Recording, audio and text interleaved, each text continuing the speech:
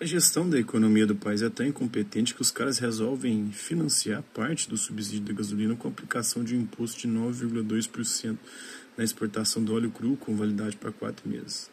As empresas exportadoras precisam de previsibilidade de tempo para que possam aí, organizar os seus preços, contratos de fornecimento, definir suas estratégias.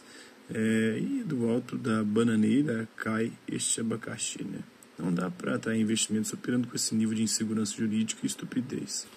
É o que nós temos, né? É bom já ir se acostumando com esses métodos de governança do país. É daí para pior.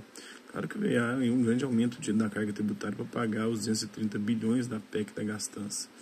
E disparada do dólar, e inflação galopante, desemprego crescente, PIB cadente. É, afinal, são 11 partidos aliados, 37 ministérios, é, Argentina, Cuba, Honduras, Colômbia, Nicarágua, uma ditaduras africanas para sustentar, né? Aí na Cláudia Raia, aí, queijando os 19 mil ONGs fraternas, verbinhas de publicidade para o consórcio de parceirinhos midiáticos, reserva de numerário para as eleições municipais e demais compromissos republicanos, né? Haja criatividade tributária, só acho. Uma nação que tenta prosperar à base de impostos é como um homem com os pés num balde, né, tentando levantar-se puxando a alça, né? Segundo Winston Churchill.